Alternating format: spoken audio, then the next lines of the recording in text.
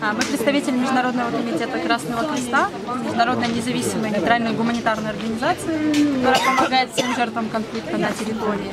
Сегодня мы привезли помощь для всех жителей улиц, которые административно относятся к поселку Зайцево, города Горловки.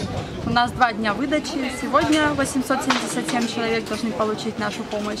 И завтра такое же количество должны получить нашу помощь. Наша помощь состоит в виде одного продуктового набора, одного гигиенического набора, а также дополнительно каждый житель получит пачку свечей, поскольку очень, мы слышали о том, что бывают проблемы с электричеством в данном поселке. А в продуктовом наборе нашем входит 5 килограммов муки, а одна бутылка подсолнечного масла, килограмм сахара, 3 килограмма макарон, 2 килограмма гречки, 3 килограмма риса, э, чай 200 грамм пакетированный и также это дрожжи, для того, чтобы люди могли приготовить хлеб и другие кондитерские изделия. Поселок Зайцево мы поддерживаем уже на протяжении практически года стараемся поддерживать каждые полтора месяца. Что касается города Горловки, то с 13 июля мы работаем в трех районах Горловки, в Калининском, Центральногородском и Никитовском районе.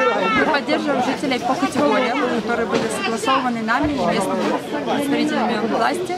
А Это категории семьи которых дома разрушены вследствие боевых действий первой и второй категории, онкобольные лежачие больные, либо нетранспортабельные, а также те, которые нуждаются в постоянном постороннем уходе, семьи погибших вследствие боевых действий, люди, получившие ранения, а также семьи вынужденных переселенцев.